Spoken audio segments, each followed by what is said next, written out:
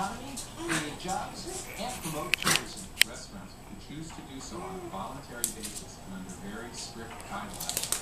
They wanted to allow dogs outdoor eating areas selectively, they could. Dogs will be restricted to outdoor dining areas in front of restaurants. They're not allowed to go inside a restaurant to get dining area out back. And dogs must remain You gonna steal her toy? Customers. I live next door to the Booker Bar and Grill, and we used to go there, and now I'm. You gonna drag her outta here? Onto the back of it. Um, Why is that?